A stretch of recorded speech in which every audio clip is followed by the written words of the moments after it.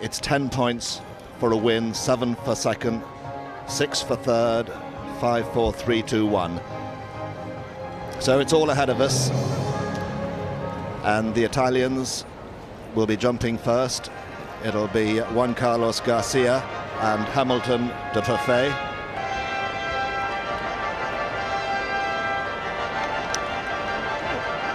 Plenty of fanfare here for this competition. The Italians, this uh, Juan Carlos, born in Bogota in Colombia, 42 years old. And no mean performer himself. He's won two World Cup qualifiers. He's been on a Nations Cup for Italy on 10 occasions. He was at the Olympics in Athens where he rode Albin and uh, rode him really well. They uh, finished in the top 20. He was at Barcelona as well. He was at Seoul where the Italians got a team bronze.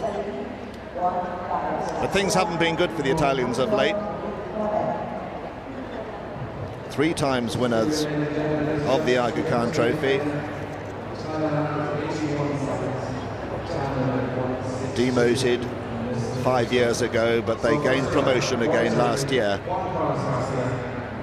First to jump then, 81 seconds, the time allowed. We'll know much more about the course when we've seen one or two of these.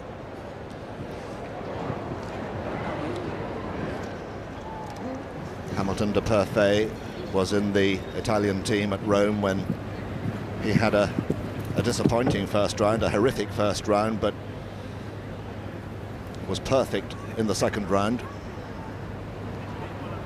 John, the Italians are competitive at this uh, game, but it is a competitive year, and uh, sadly things haven't gone right for them. They've been unlucky as well.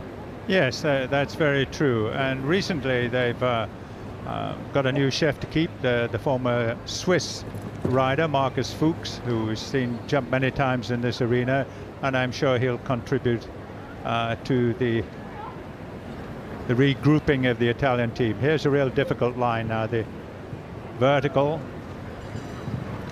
on the seven strides to the water and takes six strides then to the Meydan fence and now left-handed to the combination. Big triple bar in, two strides to a vertical, one stride to the oxer, and seven strides to a huge oxer. Time allowed is 81 seconds, and that's a brilliant start for the Italian team. Inside the time allowed, first clear.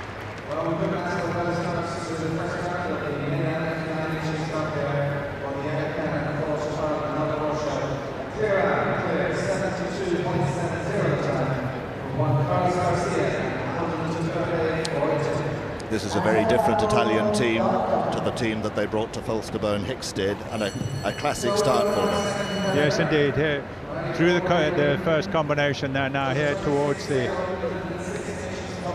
combination left-handed now.